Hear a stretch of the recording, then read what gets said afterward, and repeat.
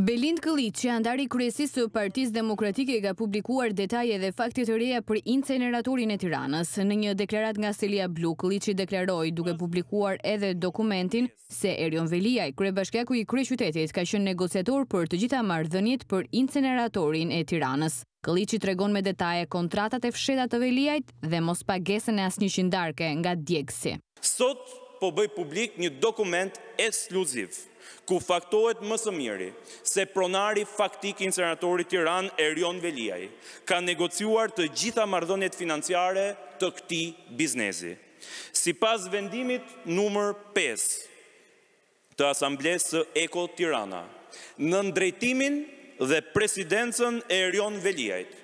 Ky i fundit merr përsipër rolin e negociatorit mes Vladimir Fezgës dhe kujt tjetër, Inceneratorit Tiranë. Fezga shet aksionet, por çuditërisht nuk merr asnjë lek. Më pas Veliaj nëpërmjet një kontrate të mbajtur të fshehtë, vendos që dhe aksionet e Eko Tiranës t'ia kalojë Inceneratorit Tiranë. Edhe për këtë kontratë, biznesi i Erionit, Inceneratori i Tiranës, nuk paguan asnjë qindarkë.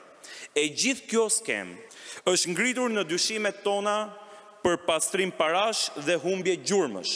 Teksa deklaron se ka depozituar zyrtarisht në SPAK kallëzimin e radhës për Erion Veliajn, me një dosje prej njëqind e shtatëdhjetë e katër faqe, duke nisur që nga vendimi i Asamblesë së AMIA-s Verona në prill të dy mijë e gjashtëmbëdhjetës, dhe deri tek pagesa e Vladimir Fezgës si person i autorizuar për negociata me këtë shoqëri dhe më pas shpërblimi i këtij të fundit për të zhvilluar biznesin e riciklimit në landfillin e Sharrës. Shtetasi Vladimir Fezga është paguar nga shoqëria AMIA Verona për negociatat e suksesshme me autoritetet shqiptare për periudhën nëntor dy mijë e trembëdhjetë, nëntor dy mijë e gjashtëmbëdhjetë deri më qershor të vitit dy mijë e pesëmbëdhjetë, negociatat mes palëve citohen në dokument si informale. Po me firmën e Erion Veliajt, biznesi i riciklimit i ishte dhënë drejtorëve pesë D të Bashkisë Tiranë.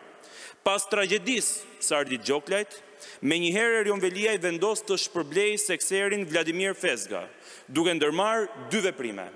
E para i jep atij të drejtën për të zhvilluar biznesin e riciklimit në landfillin e Sharrës, Këlliçi bën thirrje SPAK që të regjistrojë menjëherë këtë kallëzim penal për pronarin faktik të inceneratorit të Tiranës Erion Veliajn, i cili bashkë me shtabin e tij elektoral pesë D duhet të hetohet sipas Këlliçit nën akuzën e grupit të strukturuar kriminal dhe në lojë të futet ligji antimafia për sekuestrimin e të gjitha aseteve të kësaj organizate kriminale.